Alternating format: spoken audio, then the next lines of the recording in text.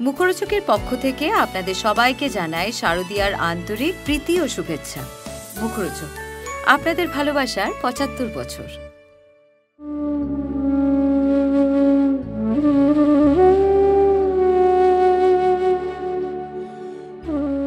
প্রয়াত অভিনেতা অভিষেক চট্টোপাধ্যায়ের একমাত্র মেয়ে সাইনা আত্মপ্রকাশ করলেন টলিউডে। স্টার জলসায় অনুরাগের ছোঁয়া ধারাবাহিকে দেখা যাবে অভিষেক সংযুক্তা কন্যা সাইনাকে। শনিবার প্রথম ক্যামেরার সামনে শট দিয়েছে অভিষেকের আদরের দল। বাবাকে দেখে বরাবরই ইচ্ছে ছিল অভিনয় করার। মেয়ের ইচ্ছাকেই সম্মতি দিয়েছিলেন অভিষেক ও সংযুক্তা।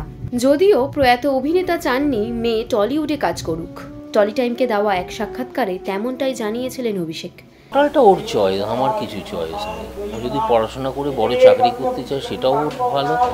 ও যদি অভিনেত্রী হতে চায়, তবে ডেফিনেটলি বলব ও যদি অভিনেত্রী হতে চায় তাহলে ওকে বাংলায় কিছু করা করাবো না। আমি মানে যদি হিন্দি থেকে কিছু অফার আসে, তাহলে আমি অ্যাকসেপ্ট করব, বাংলার জন্য কিছু